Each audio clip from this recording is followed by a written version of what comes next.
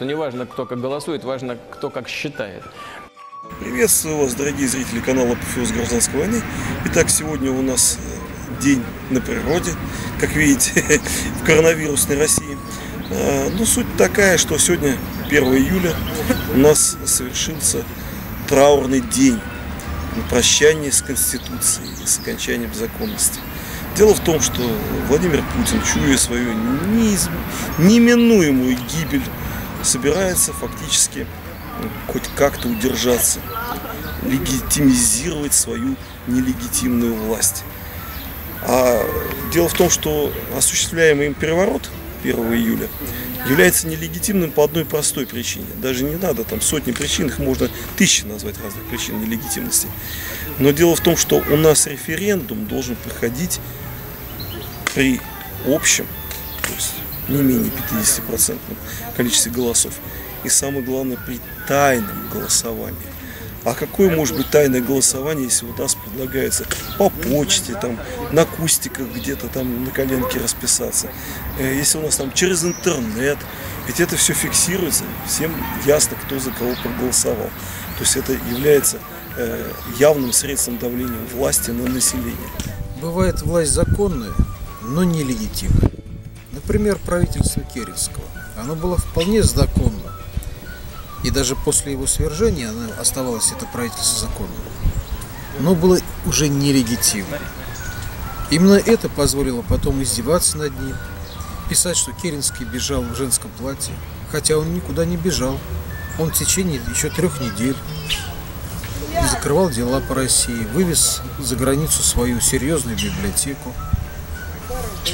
Однако власти у него уже не было, хотя законно он был правителем, председателем правительства.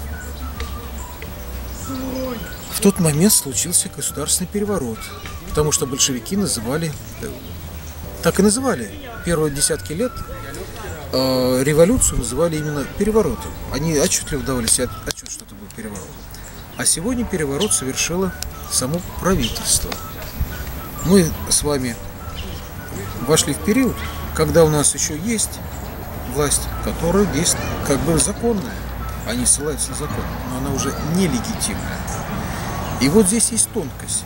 В связи с тем, что тогда переворот сделали другие люди, не команда Керенского. Переворот случился быстро и был кровавый. А сейчас переворот сделала верхушка, условный Кремль, правительство, как хотите называть, команда Путина на самом деле. И попали в нелегитимность. Поэтому переходный период будет дольше, но менее кровавый. Ну, дорогие друзья, а остальное зависит от нас. Будет ли это ужасный конец или ужас без конца.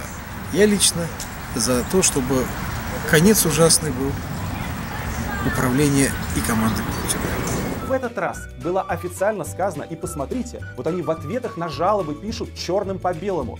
На этом голосовании закон о гарантиях избирательных прав не действует. Э, я вот поражен э, той цифрой явки, которую Путин нарисовал. Потому что такой явки в 90-е годы не всегда-то они, она была. Я просто вспоминаю, когда вот явки были там 65, там 70 процентов, когда приходили. Там протолкнуться даже вечером нельзя, невозможно было. Приходилось ждать в кабинке стоять. Причем кабинок на участке было там порядка четырех-пяти кабинок стояло на участке. И вот э, то место, где я, я голосую, где я прописан, там было раньше два участка. Два участка. Теперь их объединили в один. И то есть на этом объединенном участке, по сути дела, э, 5000 избирателей где-то присутствует. Просто вот вы цифру вдумайтесь в эту. То есть, чтобы те же 65% это свыше 3000 человек должно было явиться проголосовать. Ну, это просто э, реально невозможно. Ну, просто реально возьмите 3000 человек на 12 часов голосования поделите. Вот, это получается 250 человек в час. И поделите на 60 минут, то получается каждую минуту должно более 4 человек толкаться. На этом избирательном участке всего лишь одна кабинка, если ее так можно назвать, голосования. То есть кабинка вроде как бы для тайного голосования, но она открытая. То есть э, тебя видно со всех сторон, где ты там что там за кого ты ставишь свою галочку. То есть это, это что, тоже просто так, что ли, сделано на самом деле? Ну, я, конечно же, против этих поправок поставил галочку, пошел кидать. Э, в призме, в стеклянной, которая именуется урна для голосования, правда, тоже на ней каких-то печатей я тоже не заметил. Вполне возможно, это так специально было сделано, чтобы осуществлять массовый вброс по окончанию голосования. Так вот, в этой в призме э, валялось вот, э, собственно, бюллетень, если так можно назвать. А, бюллетень представляет собой лист формата А4. Так вот, там явно было невооруженным глазом видно, что валялось меньше ксероксной э, пачки. Явно, значит, меньше 500 человек э, кинуло, потому что в ксероксной пачке 500 листов. Э, меньше 500 человек там проголосовало. Более того, когда расписываешь вот этой книжки, которые там э, где ты ставишь отметочку, галочку за бюллетень, там я помимо своей подписи, до своей, всего обнаружил всего три подписи. То есть получается там, просто исходя из э, печати листов, там менее 15%, считай, наверное, где-то расписалось от того количества заявленных листе. Вот и получается, что вот эта явка откуда-то с неба свалилась. Поэтому считать эти э, голоса, этот референдум, так сказать, в кавычках, то есть легитимным, это может только просто моральные уроды могут считать такое. То есть э, на самом деле никакой легитимности здесь и вообще не пахнет. Не должно существовать никакой центральной избирательной комиссии ЦИКа. Потому что это нелегитимный орган. Потому что он не относится ни к какой ветви власти. А по Конституции у нас все ветви власти разделены четко на представительные, законодательные, на исполнительные и на судебную власть. Э, ЦИК, он ни к одной из этих ветвей власти не относится. Значит, он нелегитимный орган с самого начала. Вообще избирательная комиссия, слово комиссия означает нечто временное. Не может комиссия работать на постоянной основе. С постоянным штатом, с постоянными там, людьми, грубо говоря, которые живут на зарплату. Это неправильно. То есть комиссия создается вот в течение какого-то времени, там, на месяц, допустим, создана, там, на несколько дней буквально создается. То есть ее создают из каких-то различных общественных там, политических организаций, на базе нее вот создали, вот, пожалуйста, существует она функционально. Ну, то так она и должна в таком режиме существовать. Все, закончились эти выборы, все, она самоликвидировалась. И, в принципе, любые действия против этой незаконной, нелегитимной власти являются оправданными. То есть с моральной точки зрения и с точки зрения прав и свобод человека, основных, которые признаны всем миром, мировым сообществом. То есть народ, у которого узурпировали власть, имеет право эту узурпирующую власть свергнуть. Причем в Конституции России э, есть четкое указание, что нельзя, запрещено, в общем, незаконно захватывать власть нелегитимно. А данная власть показывает, что она нелегитимна, что она даже покушается на самое святое, блин, на основной закон страны.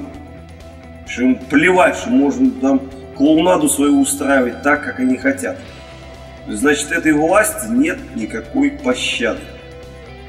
И те, кто содействовал, вот всех членов избирательной комиссии в будущем, в грядущей, в обновленной стране, после того, как эта власть будет сметена, все должны, вплоть до самого меньшайшего члена комиссии, который будет присутствовать, нам тут пропихнули, исказили наш основной закон. Вот они за это должны прям понести самое жесткое наказание. Не в рамках действующего уголовного кодекса, за который там 5 лет максимум может светить, блядь, за вот эти искажения. А вплоть до высшей меры наказания, то есть по законам революционного времени.